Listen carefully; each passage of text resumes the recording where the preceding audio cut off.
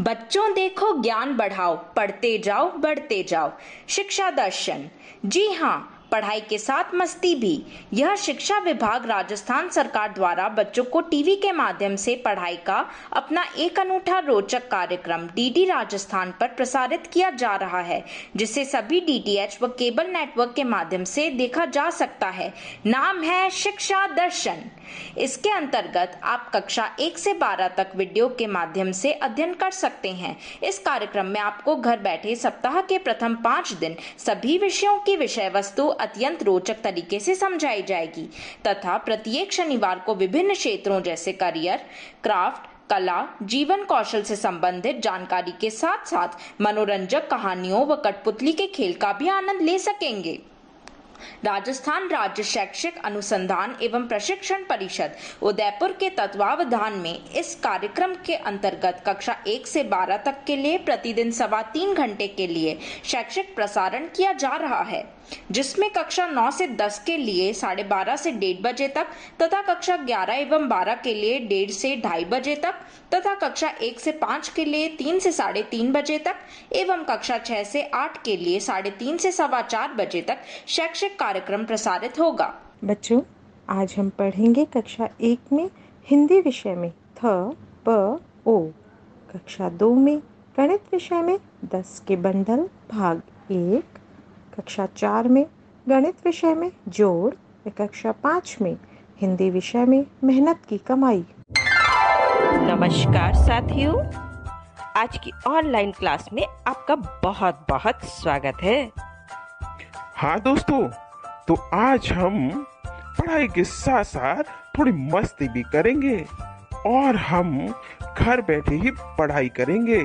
तो चलो चलो सब लोग अपनी कक्षा एक की पाठ्य पुस्तक निकालो। हाँ हाँ निकालो अपनी पाठ्य पुस्तक विषय हिंदी और पाठ संख्या है सात। आज हम कुछ नए वर्ण सीखेंगे दोस्तों जैसे थ प ओ और ओ की मात्रा सीखेंगे। घर पर पढ़ने वाले बच्चे भी अपनी पाठ्य पुस्तक में उंगली रख करके मेरे साथ साथ बोलेंगे और नए वर्ण सीखेंगे। आज हम कुछ चित्रों पर बात भी करेंगे। पंक्तियाँ पढ़कर कुंजी वर्ण का उच्चारण करेंगे।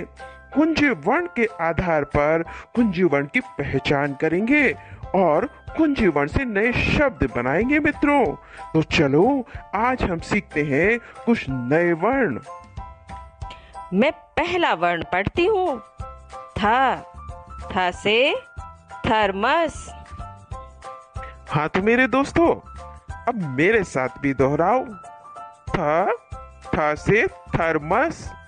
थर्मस की है अजब कहानी, गरम चाय और ठंडा पानी।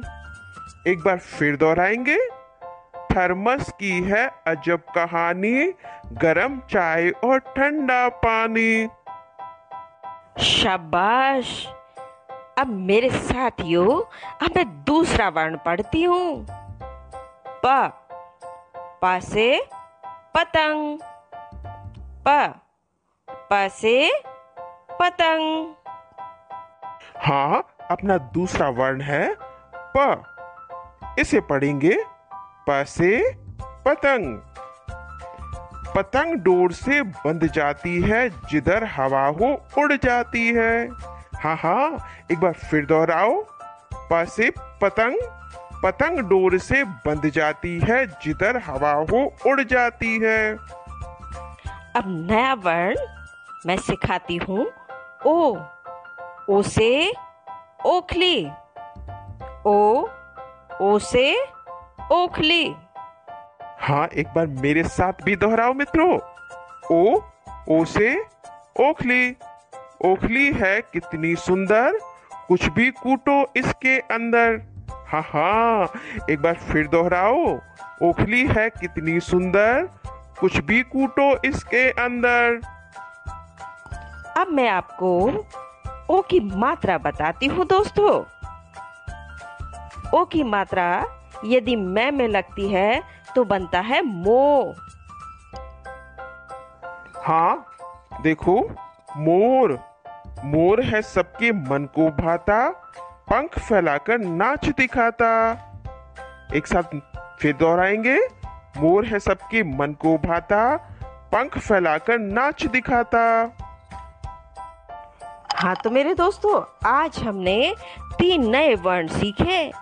थ प ओ, और इनसे नए नए शब्द बनाना सीखा। थ से थर्मस प से पतंग ओ से ओखली।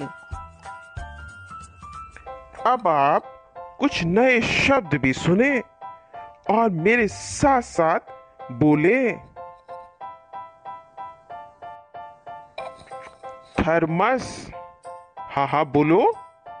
थर्मस बालिका, ओखली, मोर, हाथ, पालना, लाओ, सोना, थाली, पोखर, बोलो, पोल। मेरे साथ भी पढ़े और बोले, ओस। थपकी, पलक, बोलना, मज़ाक, तालाब, बबीता, कमीज, खेलो, पालना, आओ, पपीहा।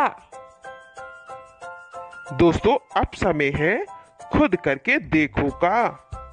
आप इन शब्दों को देखो और अपनी कॉपी में लिखो। हाँ दोस्तों, अब चित्रों का इन शब्दों के साथ मिलान करो। दोस्तों, मुझे पता है आपने सारे वर्ण अच्छे से पढ़े होंगे। तो अब आप ये वर्ण अपने घर वालों को पढ़कर सुनाइए।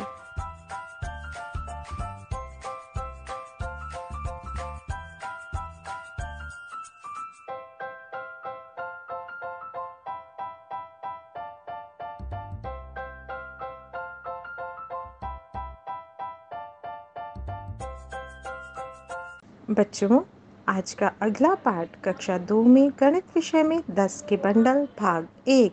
दोस्तों, आज हम इस वीडियो में लिली, बिली और उनकी गौरी मैम की प्यारी बातों से दस दस के बंडल बनाना और दो अंकों की संख्या लिखना सीखेंगे।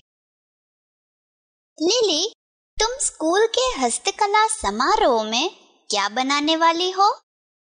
मैं तो स्ट्रॉ से एक वॉल पीस यानी दीवार पर लगाने वाली वस्तु, बनाने वाली हूँ। अरे, मैंने भी वही सोचा है। तो चलो, हम स्ट्रो लेने चलते हैं। अरे बिली यह तो बहुत सारी स्ट्रो है। हम इन्हें कैसे बांटेंगे? अरे लिली बिली इन स्ट्रो से तुम लोग क्या बनाने वाले हो? हम इनसे वॉल पीस बनाएँगे।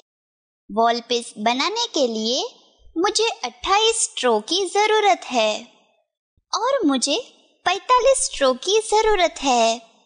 लेकिन हम इन स्ट्रो को कैसे गिनेंगे? बच्चों, चलो समझाती हूँ। इन स्ट्रो को हम दस दस के बंडल बनाकर गिन सकते हैं। दस के बंडल हाँ लिली दस के बंडल बिली देखो यहाँ रखी स्ट्रो में से तुम दस स्ट्रो गिनकर एक तरफ़ रखो। एक दो तीन चार पाँच छ सात आठ नौ और दस।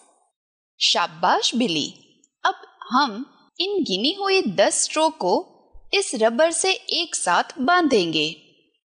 लो अब ये बन गया दस का एक बंडल। बिली अब इस बंडल में कितनी स्ट्रॉ है? इस बंडल में दस स्ट्रॉ है। बिली चलो अब ऐसे ही दस स्ट्रॉ का दूसरा बंडल बनाओ। एक दो तीन चार पाँच छ सात आठ नौ और दस। बिली अब इन दोनों बंडल में कुल मिलाकर कितनी स्ट्रो है?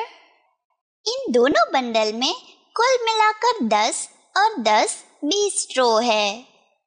बिली देखो मैं इन दोनों बंडल के पास ये आठ स्ट्रो रखती हूँ। अब बताओ कि यहाँ कुल मिलाकर कितनी स्ट्रो है? दस स्ट्रो में दस स्ट्रो जोड़ने से बीस स्ट्रो। और बीस में आठ स्ट्रो जोड़ेंगे तो यहाँ कुल मिलाकर अट्ठाईस स्ट्रो है। अरे वाह, मुझे इतनी ही स्ट्रो चाहिए। गौरी मैम, मुझे तो पैतालीस स्ट्रो की ज़रूरत है। पैतालीस स्ट्रो को कैसे गिनेंगे? देखो लिली, यहाँ दस के दो बंडल और आठ स्ट्रो है। अब ये बताओ कि दस का तीसरा बंडल बनाने के लिए हमें आठ स्ट्रो में कितनी स्ट्रो जोड़नी होगी? आठ और एक नौ नौ और एक दस। आठ स्ट्रो में और दो स्ट्रो जोड़ेंगे तो दस स्ट्रो होंगी। इससे हम ऐसे दस का तीसरा बंडल बना सकते हैं। शाबाश लिली। हाँ तो लिली तुम्हें पैतालीस स्ट्रो चाहिए। यहाँ तीस स्ट्रो है। तो अब हम उनमें और कितनी स्ट्रो जोड़ेंगे? हम दस स्ट्रो का एक और बंडल और पाँच स्ट्रो रखेंगे। बहुत अच्छे लिली। अब ये बताओ कि यहाँ कुल मिलाकर कितनी स्ट्रो है? दस में दस जोड़ेंगे तो बीस। बीस में दस जोड़ेंगे तो तीस। तीस में दस जोड़ेंगे तो चालीस। चालीस में पाँच जोड़ेंगे तो पैतालीस। तो यहाँ कुल मिलाकर पैतालीस स्ट्रो है। अरे वाह मुझे इतनी ही स्ट्रो चाहिए। क्यों लिली बिली? अब तो तुम्हें दस के बंडल बनाने आ गए है ना? हाँ मैम। अच्छा बच्चों अब कल स्कूल में मिलते हैं। बाय बाय मैम आज हमने दस दस के बंडल बनाना और दो अंकों की संख्या लिखना सीखा। बच्चों आज का अगला पाठ कक्षा चार में गणित विषय में जोड़। बच्चों आज हम सीखेंगे तीन अंकों की संख्याओं में हासिल के साथ जोड़। आप तीन अंकों की संख्याओं और स्थानीय मान के बारे में जानते हैं। आइए एक बार दोहरा लेते हैं। यदि आपके पास दो इकाई, तीन दहाई तथा छः सैकड़ा हों तो आपके पास संख्या होगी छः सौ बत्तीस। छः सौ प्लस तीस प्लस दो बराबर छः सौ बत्तीस, जिसे आप शब्दों में इस प्रकार लिख सकते हैं। इसके साथ ही आप तीन अंकों की संख्याओं में बिना हासिल के जोड़ करना भी जानते हैं। एक उदाहरण से इसे दोहरा लेते हैं। आपके पास दो संख्याएँ हैं। दोनों ही तीन अंकों की संख्याएँ हैं, जिन्हें आपको जोड़ना है। पहली संख्या है 345 दूसरी संख्या है 522 सबसे पहले हम इन्हें इस प्रकार व्यवस्थित कर लेते हैं, जिसमें इकाई के स्थान के नीचे, इकाई के अंक, दहाई के नीचे, दहाई के तथा सैकड़ा के अंक, सैकड़ा के स्थान पर ही लिखे जाते हैं। अब इकाई के स्थान से शुरू करते हुए योग की प्रक्रिया शुरू करते हैं। पाँच और दो को जोड़ने पर आपको मिलता है सात। दहाई के अंकों चार व दो को जोड़ने पर आपको मिलता है छ। सैकड़ा के अंकों तीन व पाँच को जोड़ने पर आपको मिलता है आठ। इस प्रकार इन दोनों संख्याओं का जोड़ प्राप्त होता है आठ सौ सड़सठ। अब हम तीन अंकों की संख्याओं में हासिल के साथ जोड़ को समझते हैं। हमारे पास यह कुछ गेंदे हैं, कुछ लाल रंग की और कुछ पीले रंग की। सबसे पहले हमने इन्हें गिना और गिनकर यह पता लगाया कि लाल रंग की गेंदें कितनी हैं और पीले रंग की गेंदें कितनी हैं। हमें ज्ञात हुआ कि पीले रंग की 432 गेंदें हैं। वहीं लाल रंग की सात गेंदें हैं। अब हमें यह ज्ञात करना है कि कुल गेंदें कितनी हैं। तो हम इन्हें जोड़ेंगे। जोड़ने के लिए सबसे पहले संख्याओं को इस प्रकार व्यवस्थित कर लेंगे कि इकाई के स्थान पर इकाई के अंक दहाई के स्थान पर दहाई के अंक तथा सैकड़ा के स्थान पर सैकड़ा के अंक लिखे जाएँ। इकाई के स्थान से शुरू करते हुए जोड़ने की प्रक्रिया प्रारंभ करते हैं यहाँ दो तथा नौ को जोड़ने पर आपको प्राप्त होता है ग्यारह जिसमें इकाई के स्थान के एक को हम उत्तर में ही लिख लेते हैं, तथा दहाई के स्थान के एक को प्रश्न के दहाई के स्थान पर हासिल में ले जाते हैं। अब दहाई के अंकों को जोड़ते हैं। तीन छ दोनों को जोड़ने पर प्राप्त होता है नौ, और इसमें हासिल का एक जोड़ लेने पर आपको प्राप्त होता है दस। यहाँ भी इकाई के स्थान के अंक शून्य को उत्तर में ही लिखे रहने देंगे और दहाई के एक को प्रश्न के सैकड़ा के स्थान पर हासिल में रख लेंगे। अब सैकड़ा के स्थानों पर लिखे अंक चार व सात को जोड़ लेने पर आपको प्राप्त होगा ग्यारह। इसमें हासिल का एक जोड़ने पर आपको मिलेगा बारह। और इसे हम उत्तर में लिख लेते हैं। इस प्रकार 432 व सात सौ उनहत्तर का जोड़ एक हज़ार दो सौ एक प्राप्त होता है। बच्चों, इसी प्रकार तीन अंकों की संख्याओं में हासिल के द्वारा जोड़ किया जाता है। कुछ और सवालों के साथ फिर मिलेंगे। तब तक के लिए धन्यवाद। बच्चों आज का अगला पाठ कक्षा पाँच में हिंदी विषय में मेहनत की कमाई। प्यारे बच्चों आज हम आपकी कक्षा पाँच का पाठ नंबर दो मेहनत की कमाई का अध्ययन करेंगे। मेहनत की कमाई इस पाठ का शीर्षक है, यानी इसका नाम है। और इस पाठ के माध्यम से लेखक हमें क्या संदेश देना चाहता है और किस प्रकार की कहानी इस पाठ में प्रस्तुत की गई है, वो सब हम इस पाठ को पढ़कर जानेंगे। तो आइए शुरू करते हैं। आज का पाठ, मेहनत की कमाई। एक अमीर बाप ने अपने आलसी बेटे को बुलाकर कहा, जा, कुछ कमाला लड़का लापरवाह और निर्लज था। यहाँ दो कठिन शब्द आए हैं। आप पाठ हमने शुरू किया है तो मुझे उम्मीद है कि हमेशा की तरह कॉपी और पेन लेकर बैठे होंगे। तो जो जो कठिन शब्द आते रहेंगे, मैं उनका अर्थ आपको बताता रहूँगा और वो स्क्रीन पर भी फ्लैश करते रहेंगे। तो आप उनको कॉपी में साथ साथ लिखते चलें।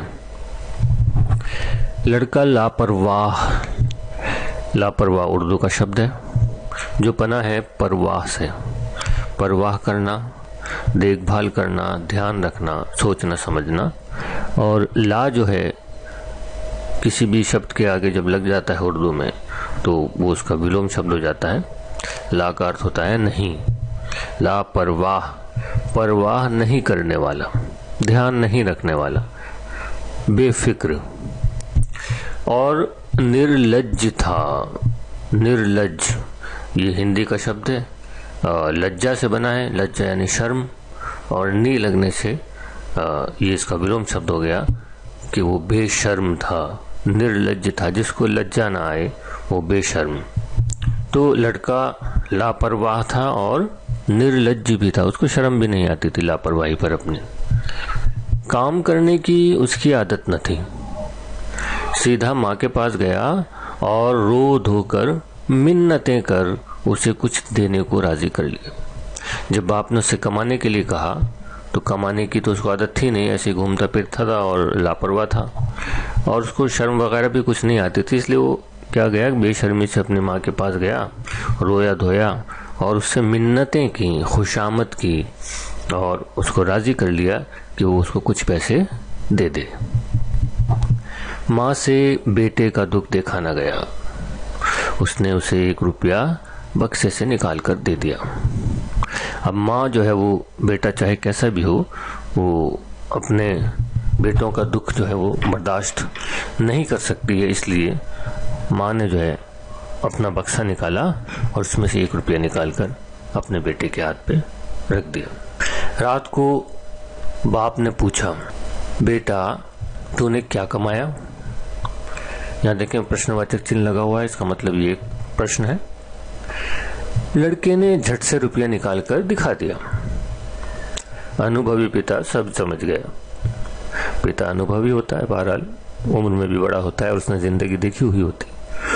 तो इसलिए लेखक कह रहा है कि अनुभवी पिता सब समझ गया। उसे मालूम हो गया कि कमा उमा कर नहीं लाया है, बल्कि माँ से ले लिए इसने। उसने कहा, जा, इसे कुएँ में फेंका। लड़के ने झटपट जाकर रुपया कुएँ में डाल दिया और वापस आ गया। अगले दिन पिता ने फिर कहा, जा, कुछ कमा ला, नहीं तो आज भोजन नहीं मिलेगा। पिता को मालूम था कि पिछले दिन जो पैसा लाया था, एक रुपया लाया था, ये तो अपनी माँ से ले आया था, लेकिन पिता ने कुछ कहा नहीं। बल्कि वो उसको एक सीख देना चाहते थे, इसलिए उन्होंने उसको कहा कि वो रुपया ले जाकर कुएँ में डाल दे। लड़का तो निर्लज था, इसलिए उसने कोई आर्ग्यूमेंट नहीं किया और ले जाके कुएँ में डाल दिया। लेकिन आज पिताजी थोड़े सख्त हो गए। वो चाहते थे कि बच्चा काम करना सीखे, इसलिए उन्होंने कहा कि आज अगर तू कमा कर नहीं लाया तो तुझे भोजन नहीं मिलेगा। लड़का अपनी बहन के पास जाकर रोने लगा। बहन ने तरस खाकर एक रुपया अपने पास से उसे दे दिया। तो आज उसने बहन की मिन्नत की और बहन के सामने रोया तो आज वो बहन से रुपया लिया है बाप ने रात्रि में लड़के से पूछा, आज तू क्या कमा कर लाया? लड़के ने जेब में से निकाल कर एक रुपया बाप के सामने रख दिया। बाप बोला, जा, इसे कुएँ में फेंका। लड़के ने वैसा ही किया। यानी दोबारा जब वो रुपया लेकर आया तो बाप ने फिर उसको वही कहा कि, जा, तू इसको कुएँ में डाला। लड़का फिर गया और उस रुपये को उसने कुएँ में डाल दिया। अनुभवी पिता ने पत्नी और बेटी को बाहर भेज दिया। अब पिताजी जानते थे कि जब तक मेरी पत्नी और मेरी बेटी, यानी इसकी माँ और बहन यहाँ मौजूद हैं, इसका मामला सुधरने वाला नहीं है। तो उन्होंने उन दोनों को बाहर भेज दिया कहीं घर से। अलग किसी जगह उन्होंने दोनों को रवाना कर दिया। पिता ने बेटे से प्रातः उठने पर कहा, प्रातः यानी सुबह।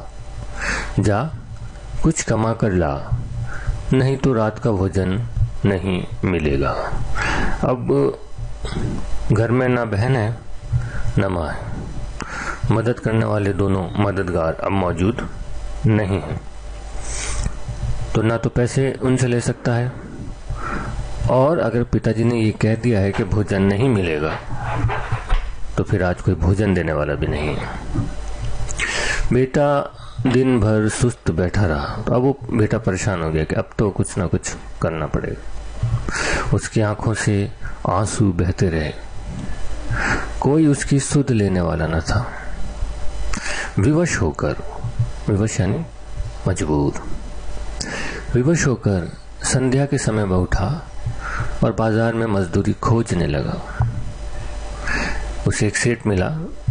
एक सेठ ने कहा, मेरा ये संदूक उठाकर घर पहुँचा दे, मैं तुझे चार आने दूँगा। अमीर बाप के बेटे ने संदूक उठाकर सेठ के घर पहुँचाया। वह थक कर चूर हो गया। उसके पाँव काँप रहे थे और गर्दन तथा पीठ में भयंकर दर्द हो रहा था। अब क्योंकि अमीर बाप का बेटा था, कभी ज़िंदगी में मेहनत नहीं की थी, पहली बार काम किया था तो इसलिए वो जो संदूक था भारी होगा या जो सामान उसका था वो भारी रहा होगा। तो पहली बार काम किया, इसलिए उसको थकान भी बहुत हो गई और गर्दन और पीठ में जो है उसके भयंकर, यानी बहुत तेज दर्द हो रहा था। रात को बाप ने पूछा, बेटा, आज तूने क्या कुछ कमाया? लड़के ने चवन्नी निकाल कर दिखाई। देखिए, रोज वो एक रुपया दिखाता था, जिसकी कीमत ज़्यादा होती है। आज सिर्फ़ चवन्नी थी उसके पास, एक रुपया भी नहीं था।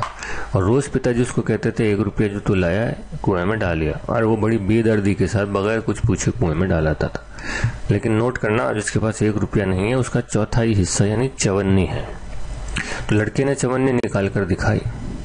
बाप बोला, जा, इसे कुएँ में डाला। लड़के को क्रोध आ गया। अब ये देखिए, तब्दीली, ये परिवर्तन है, ये चेंज है।